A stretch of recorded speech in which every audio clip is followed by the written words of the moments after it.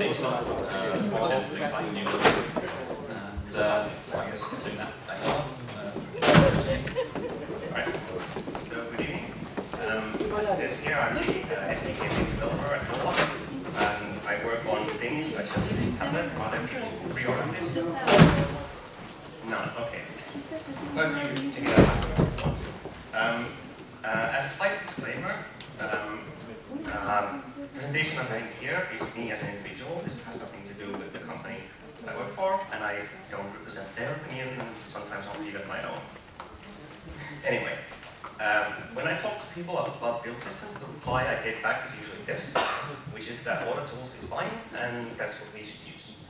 And, and, and among other things, that's what they have said. Um, a lot of things has been said about this, or I about this, uh, much of it in heated terms. Um, but I'm not going to say anything about that.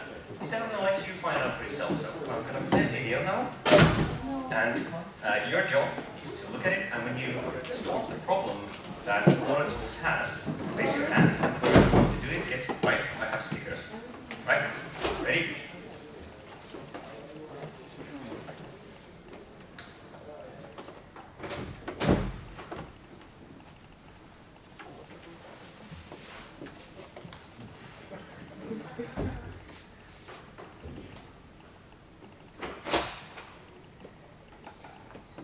Oh! That will be done. As you can tell, it takes fabulous CPU. And mind you, this is just the part where it's copying the M4 files into your thing.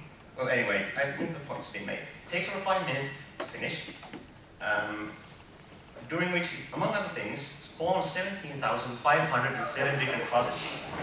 And as we all know, Unix processes are cheap which is good. Um, the second question is this one is that just uh, why could we make it better? Because there's lots of uh, time and energy and effort being spent into uh, auto tools, so can make better, everyone will benefit.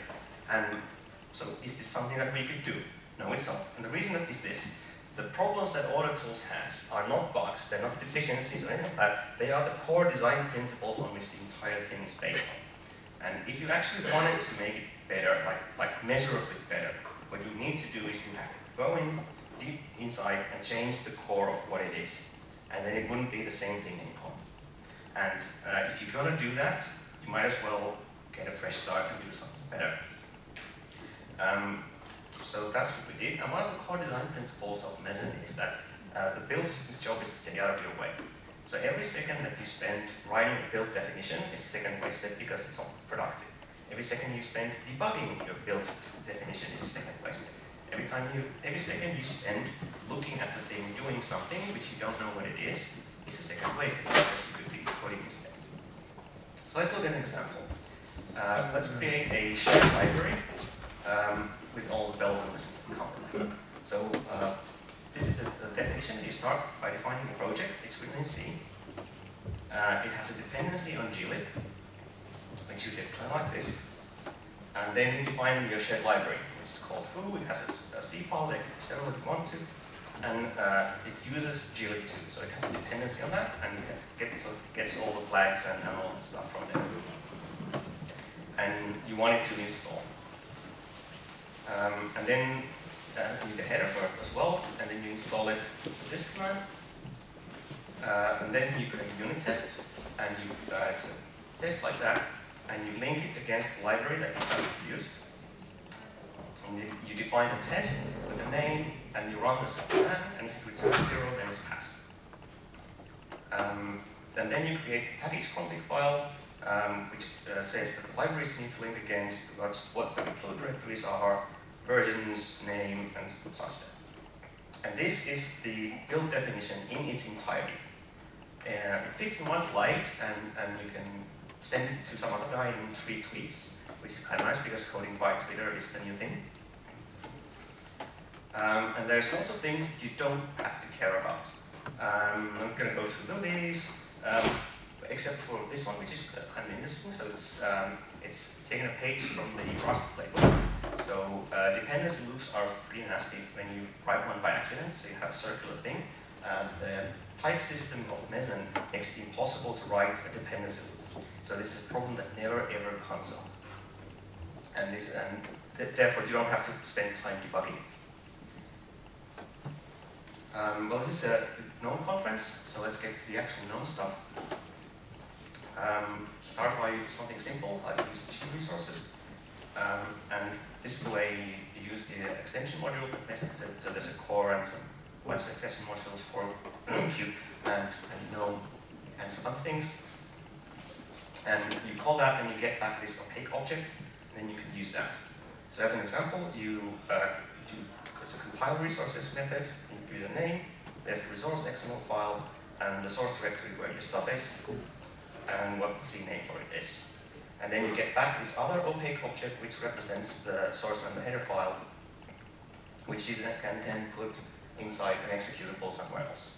And um, takes care of everything, among other things, the fact that uh, main.c needs to include the header file that's generated over there, and the system knows that, so it makes sure that it's built before the C file is compiled, so you don't have to care. Uh, G schemas, we got those, and compile schema, compile schema that are in your current directory, and then you just install them like any other piece of data. Uh, GTK doc, uh, this actually landed three days ago. Uh, so you have GTK doc method, and you have a name for that, um, where the source files are, of course, your main SGML file or XML file. This light was written before there was XML support. Um, and that you want this documentation to be installed. That's it. Uh, GDBus, which is uh, fun. Again, there's a function for that, and it's got a name for it. There's the XML file, uh, uh, interface prefix, and there's a bunch of stuff that you need for that. And then again, you get an opaque object out, you put this in your sources, then you just compile and it does the right thing. Uh, then there's uh, g-object introspection, which is uh, a bit trickier. So first you build uh, some executable, in this case, which you want to do the introspection on.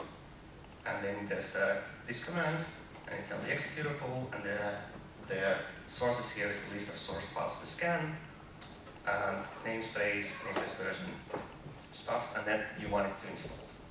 And that's it. Um, Vala support, uh, uh, we have Vala support as well. Um, it's, it's usable. Uh, it's not quite as close as the other ones because um, I don't personally use Vala, so I don't have all the, the use skills. I'll versus please nothing with that. But if there are people who want to try, please do because I'd love to get some, some feedback whether it's, it's actually working.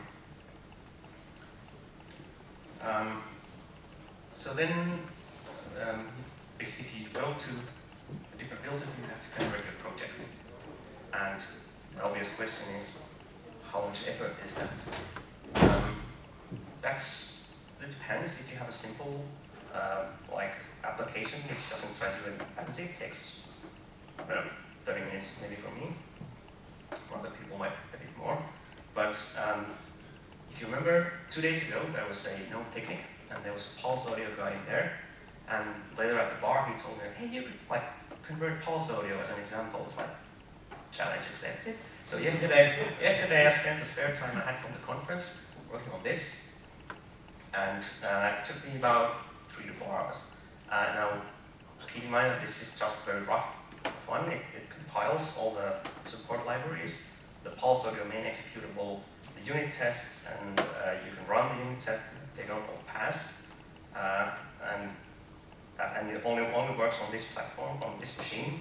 But uh, this is like the basic work we have to do. And it's, um, it's a fair bit of work, but mm, not too bad. Um, there's also a bunch of conversion scripts. So there's uh, one for CMake and one for AutoTools, actually two for AutoTools, um, which take out most of the grunt work.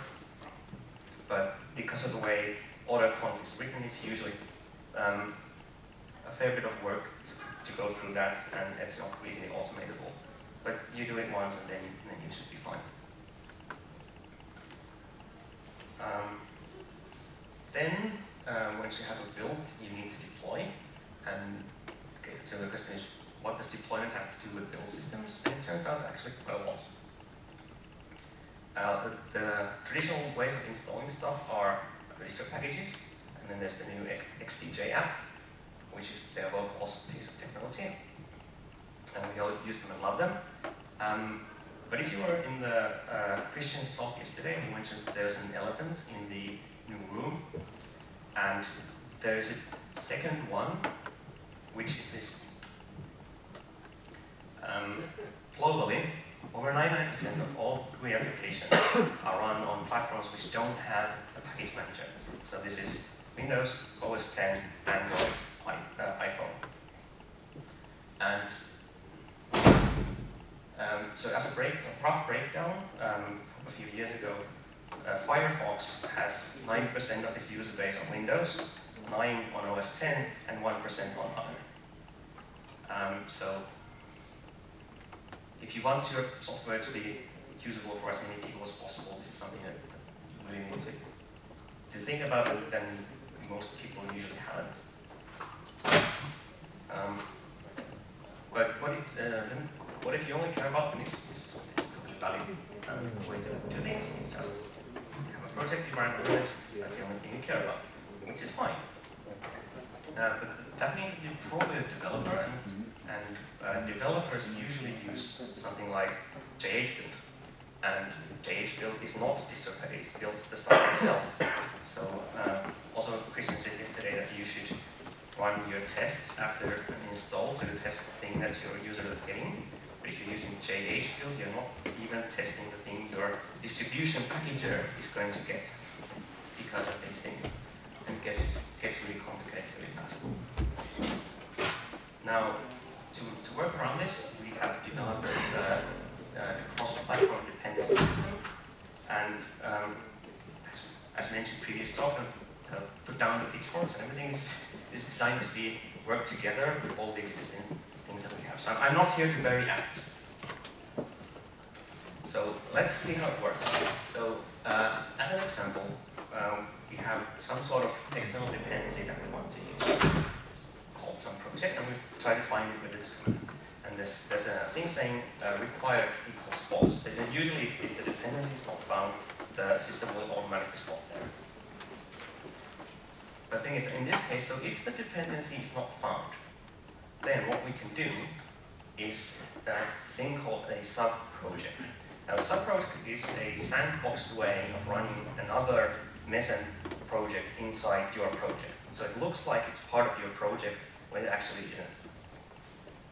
And inside this uh, sub-project, you, you like, build probably the same, same library that you would get from package config in the normal case.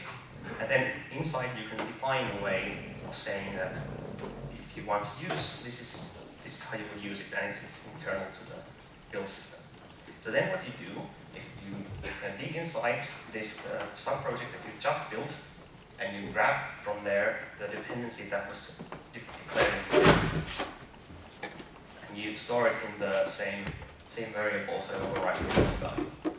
And from now on, when you create an executable and you put a dependency in here, it works in both cases. So if a thing is available from the system, it, will, it gets used automatically. And if it's not, then it can build it yourself. And because it, this is based on source, it will work on every platform, assuming that the build definition works for that particular platform. Um, but this only works for, for projects that are already using Meson. That's not many. So what we did is that we created this uh, project uh, called uh, a wrap database, and this is kind of like Debian, but with source. So basically you have these projects which are available, and, and anyone can submit their own. So that you take the upstream tarball, and then there's a patch for that which adds the Meson build files. And then there's a tool with which from the command line you can query the web service. And as an example, you would say install libpng, it would download the thing from the, from the net, uh, download the patch from the net, apply them, put them in there, and you can use it as if it was part of your entire, your basic system. So this is, basically, this is what um, people who build on Windows and all the other platforms have been doing for ages, except that every single one of them has done it themselves, is that they take a random piece of code, put it somewhere, and then they hack until it works, and then it gets forgotten, then you get OpenSSL version 9.3 something, is used on your router. Um, now, um, since it's not a sales pitch, I can be honest and say that there are certain uh, downsides, obviously.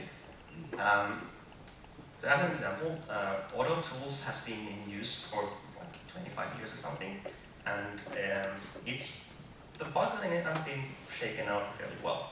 So there's not much much remaining. So if you if you just a random guy you want to use Auto Tools, you're unlikely to hit unknown bugs, only known bugs. Um, the official stance of the project as it stands is that there's no backwards guarantee until we hit 1.0. Um, like backwards, forward, sideways, any sort of compatibility, not guaranteed at all. The unofficial stance is that we try very hard not to break stuff, but uh, if we find something that is like completely hands-on too big, then we fix that and we make, make stuff happen. Um, the question is when is 1.0 coming out, and we don't know yet.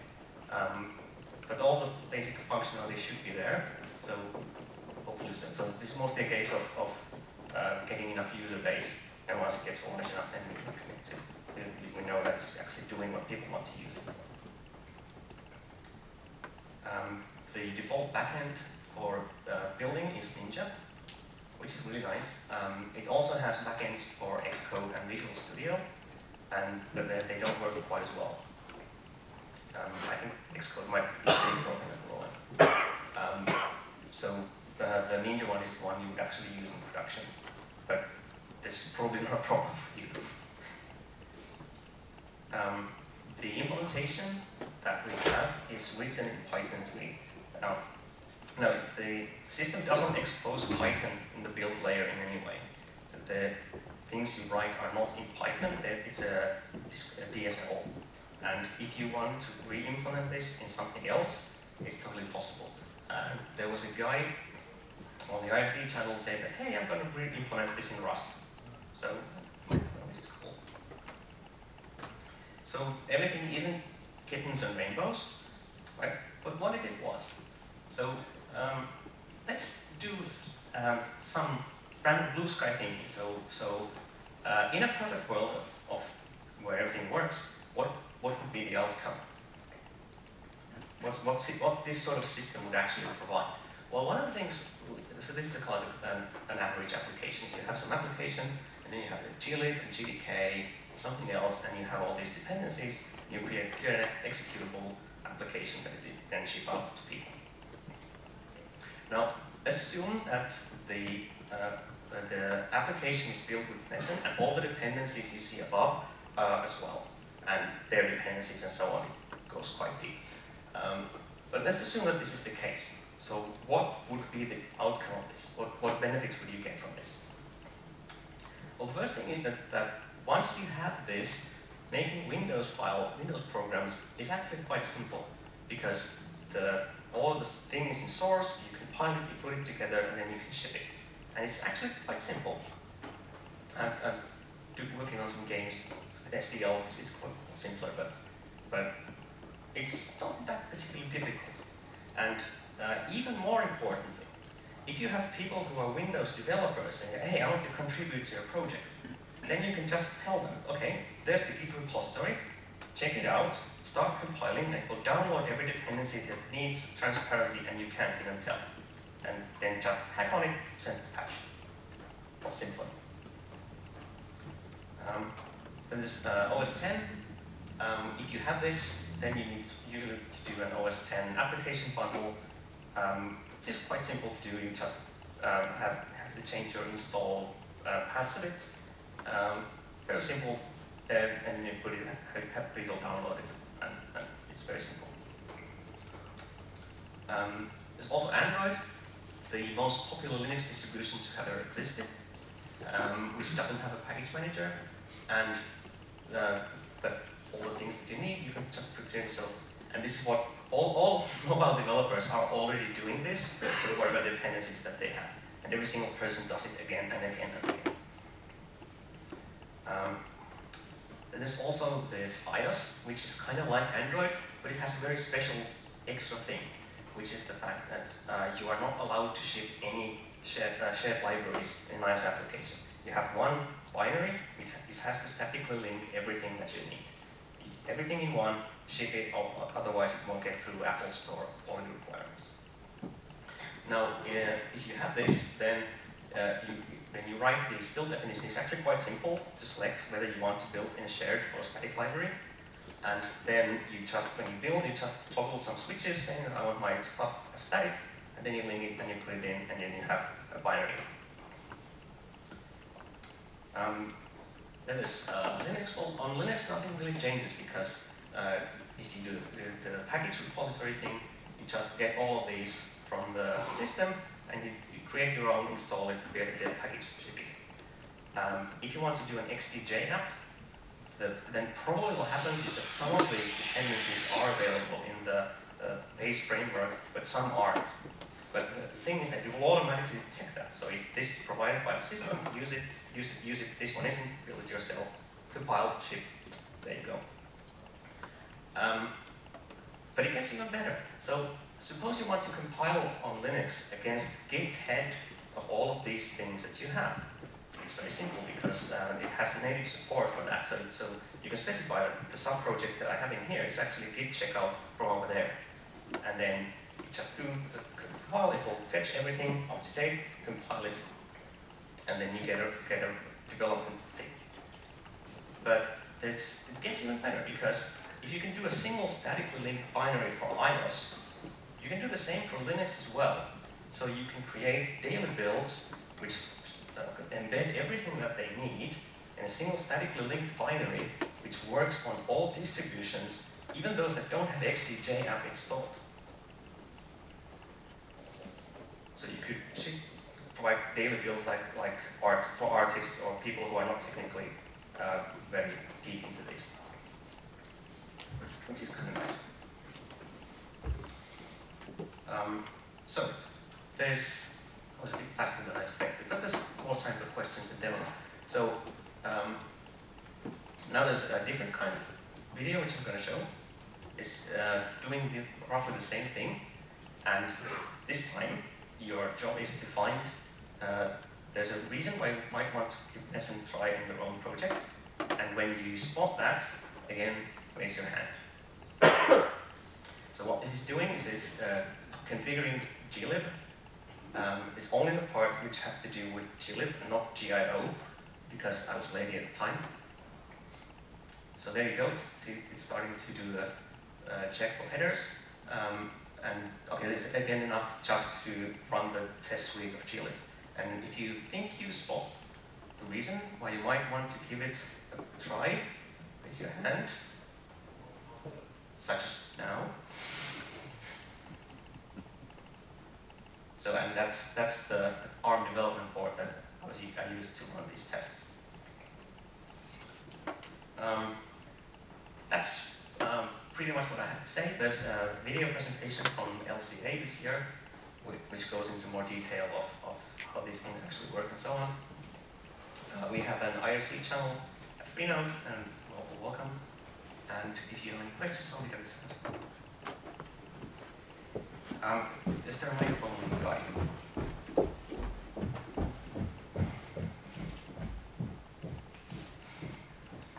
Thanks. Uh, so interesting stuff, but uh, go to the core.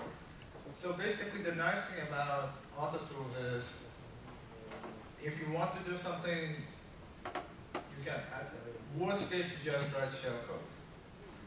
So uh, you're making common things very easy. But what about uncommon things? How are they still possible? Especially because you have a domain-specific language. It's not like it's Python either. So, um, yeah, can you give an example? Uh, no. so, that's what they're called common things. Exactly. Okay, so, um, GB source support was not added because I used added GB source support.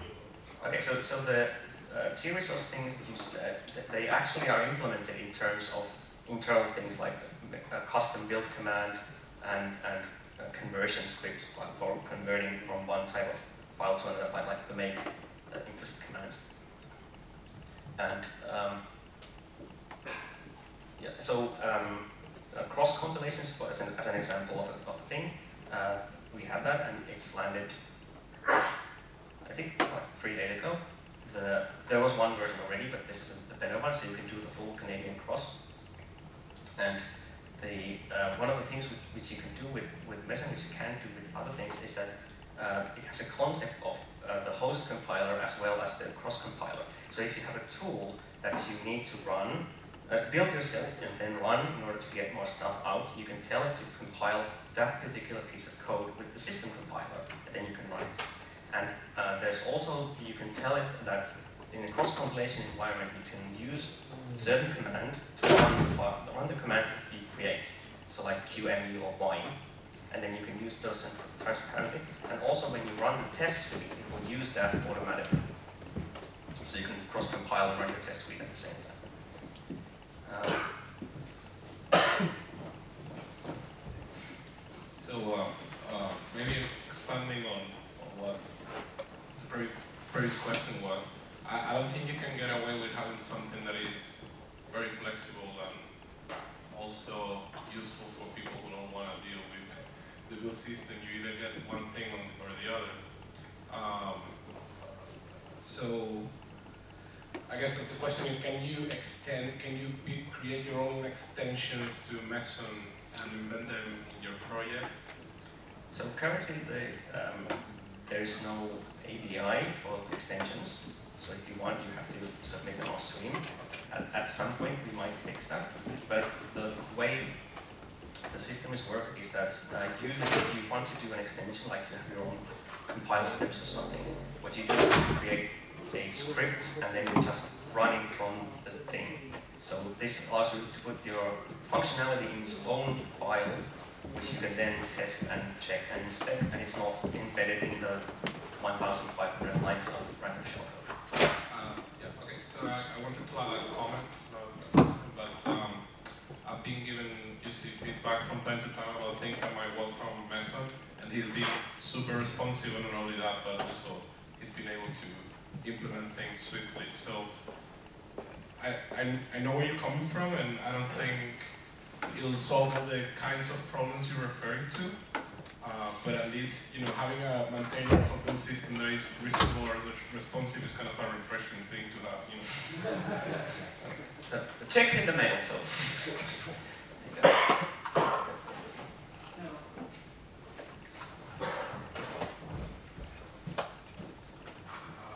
Hi, so uh, I didn't actually understand what was going on in that vi- video, so could you explain that? Um, the first one or the second one?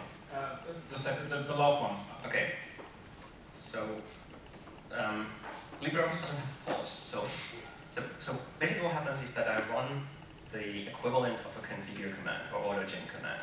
So it, it goes through uh, the thing, does all the checks. Does this have header file? Does it have that header file? What's the size of this thing?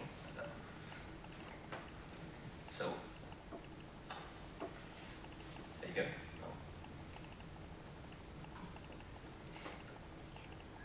So it starts going and checks for header files first. Um, and then it checks the, whether some structs have a certain uh, uh, element in them, size and offsets of, of integer, certain integers, and that's, that's about it. So AutoTools doesn't do this. I, I, I'm not very good All, the tools does it, but it takes forever. Oh, oh, okay, so, okay, okay, okay. Yeah, so it took, takes five minutes to do the same on auto tools. We can watch that video in its entirety if you want to, but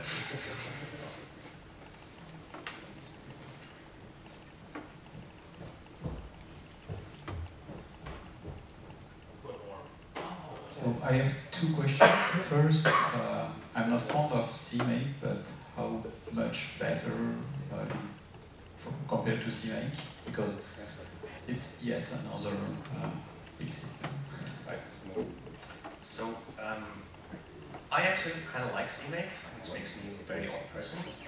Um, I also wrote my own builds, me even more odd person. But anyway, um, CMake is the thing that it has a really, really good back end, but a terrible front end. So if you write the CMake scripts, it's miserable, to be honest. And I've, I've written a fair share of those. And um, uh, in my previous job, I was the guy who knew about CMake, so I had to fix all other people's things. And I had to fix the same things over and over and over again. I was like, well, this should really be in the system. Like, there's only one way to do this in the, in the same way. Or, or if you want to do something else, then you would have to do manually something else. And uh, this came about because I wanted to create a system where you don't have to do these sorts of things. Okay, thank you. Second, second question, um, completely unrelated. I know these days stars born are not that uh, uh, in use, or at least people tend to prefer Git checkout. But uh, do you ship? Do you expect uh, people to ship Meson as part of their tarball? Uh, or because that's a good point of uh, AutoTools is that when you ship a tarball, yeah, there is no external dependency on the build system. And other system like SCons, uh, if you end up trying to rebuild something which was generated a long time ago, you end up with bugs which are crazy to fix. So the way this works is the same way that CMake works, is that you need to have the build tool installed on your system, and then you do that. Um, because if you have these things like where you download stuff from the internet, if you want to do that in, in plain shell without using any dependency, it's not really easy.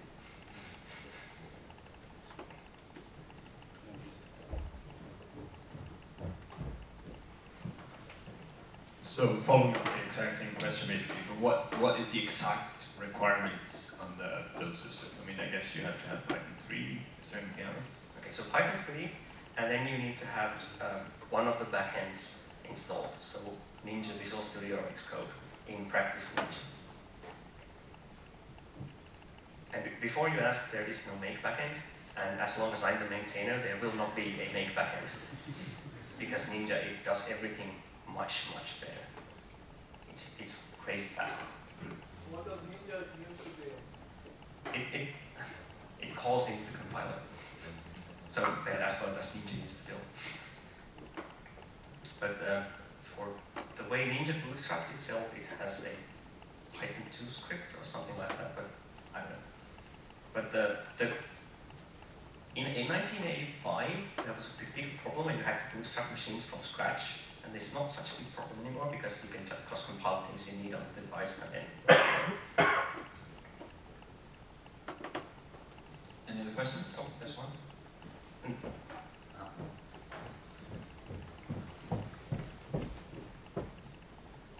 Um, I have two questions. Um, the first is that you mentioned that the same tests for the file structures are done by configure as well, and it's much slower. And, and why is that visible is much faster to do the same thing? Because the test has tiny C programs that compile and run.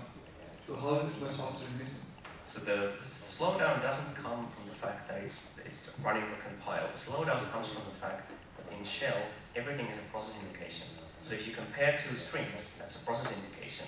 And, and these things, they just pile up. And then the cumulative effect is everything is slow. So it's only because of configure being a shell script, else. Yeah.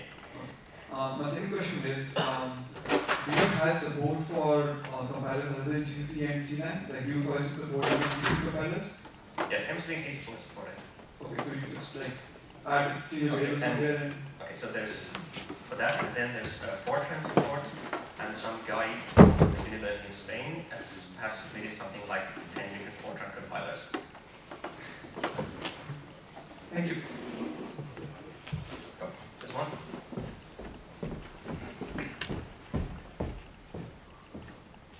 what would actually be success for you? Why why do you come talk about Meson at GUADEC? Um, do you expect the whole of GNOME to switch to Meson?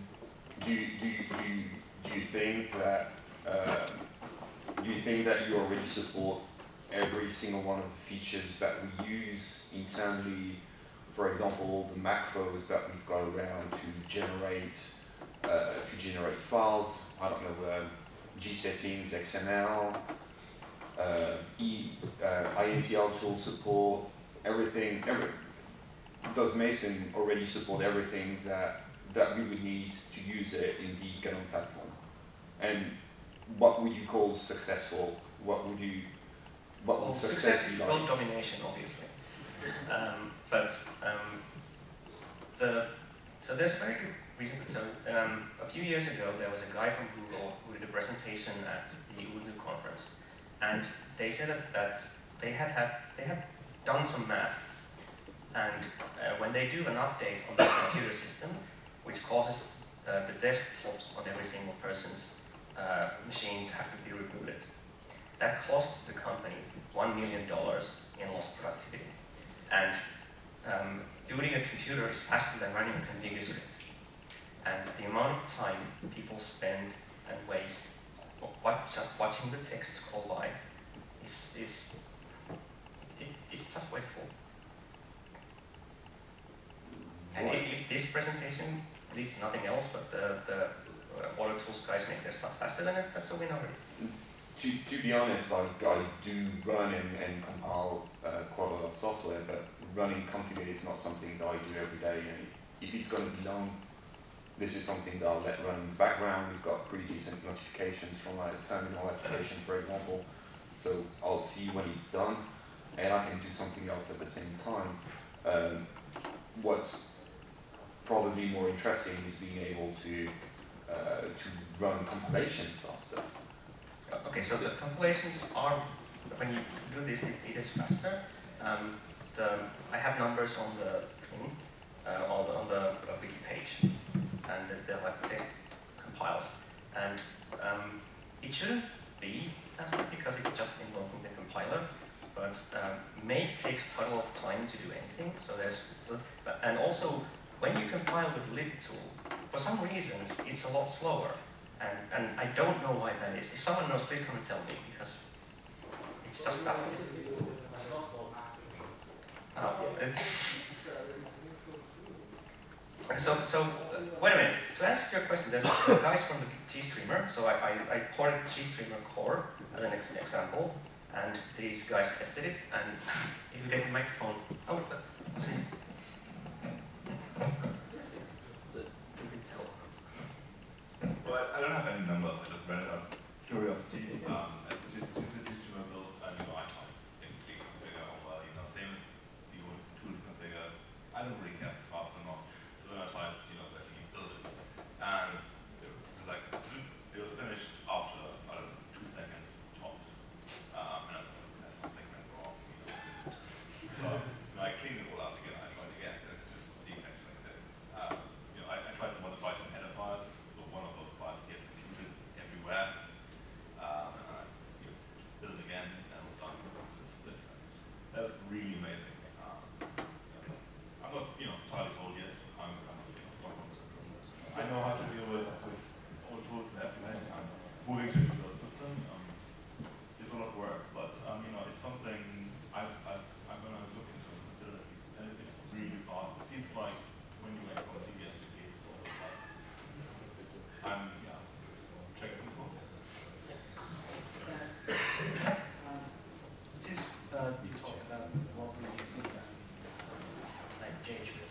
Uh, is uh, somebody looking to uh, modify JHP to support Meson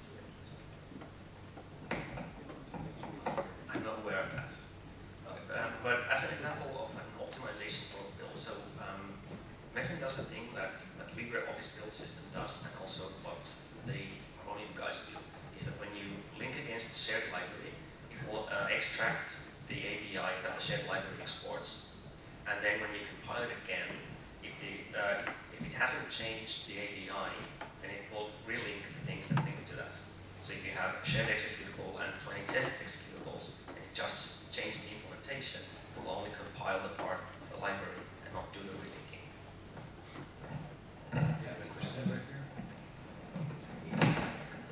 Actually, it's a about the build speed. Uh, I'm very build, I'm, I'm very, uh, I can say the perfect way to waste your time is build Webkit or Chromium. yeah, it took, it took, yeah, but then I think it's a year ago, I took, was spent uh, hour per build. Yeah, but my laptop is very fast, so it was an hour. Yes, uh, after we changed to Ninja system, yeah, we could reduce a lot of time to do a unit test after my modifications. Yeah, for me, it's really critical to speed up the build system. It's insanely slow to build the Chromium and WebKit. I'm appreciating to yeah, clean up and uh, fixing the build system. Yeah, I'm appreciative about that. Uh, so an example of a thing that I mentioned a few years ago is that if you take the Clang compiler and then you compile it with it has CMake, so it has both make and a Ninja backend. So if you compile it with make and then change nothing and just type make again, it will take 20 to 30 seconds to realize that nothing has changed. And if you just change the Ninja and do the same thing, it takes less than a second. Um, I just wanted to uh, uh, say something in appreciation that uh, in auto tools, it's really hard to do anything which is not cookie cutter. You want to build a shared library, it works fine. You want to build a shared it works fine. If you use CSV, it works fine. Anything outside of that, it's really hard.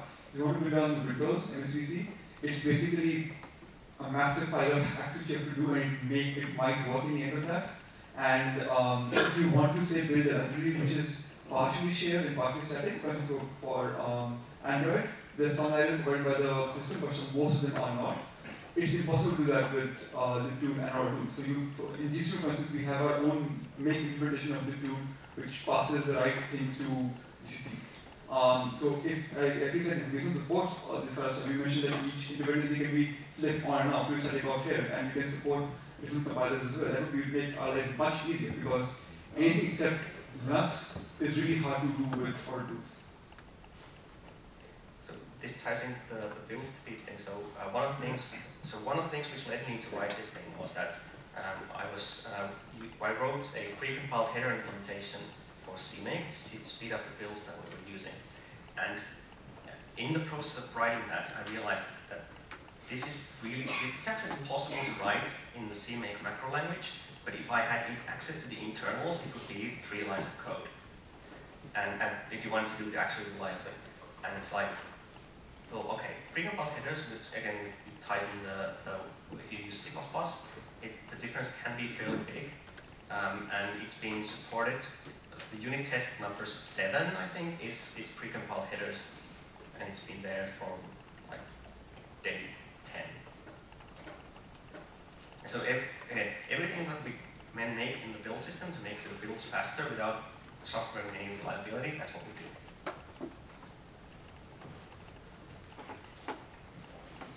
So I, I guess I have two questions. So one of them is the can you can you somehow parse these files with an can you use Meson's uh, API to parse the file and understand what it's in there for IDs, for example, or something like that?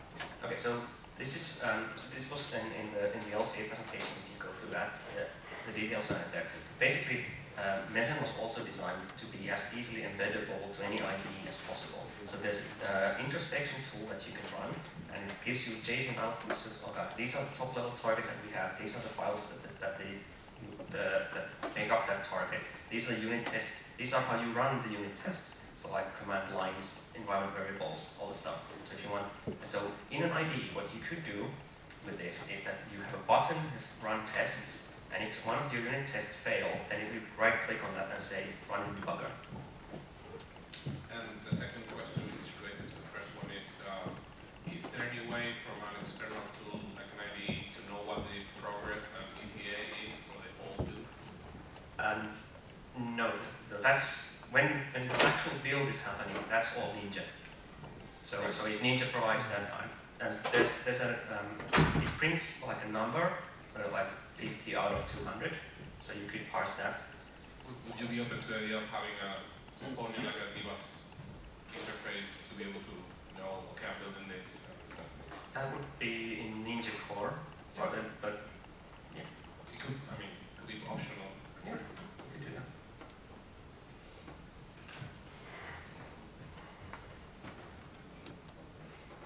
So technically, you really like Ninja. What's your opinion on its maintenance over time? Can we rely on Google to keep maintaining it? Does it have an active upstream?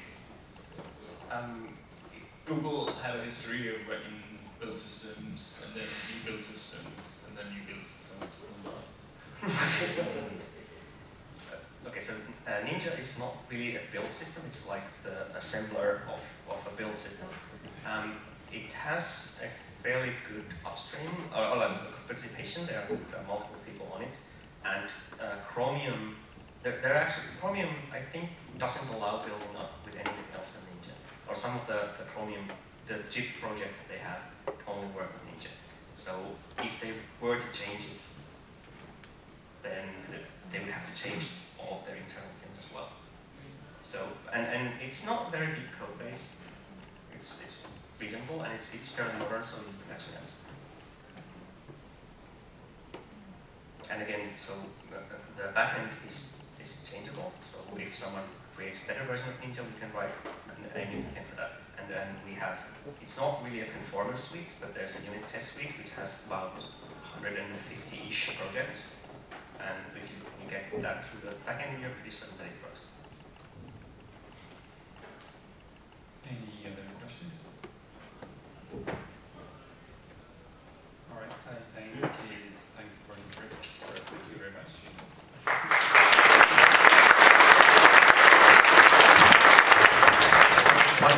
You